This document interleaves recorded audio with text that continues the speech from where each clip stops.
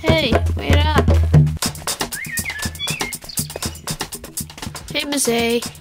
Hey, Owen. What's wrong? I'm hot. Too hot. Hey, let's go swimming. Maybe I can teach you how to swim like you taught me how to eat grass. Mm, too hot. A, you need to go swimming. You go ahead without me. Come on, time to go swimming.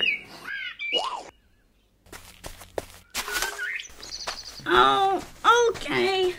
Sometimes you need a little soft bite on the head to get moving.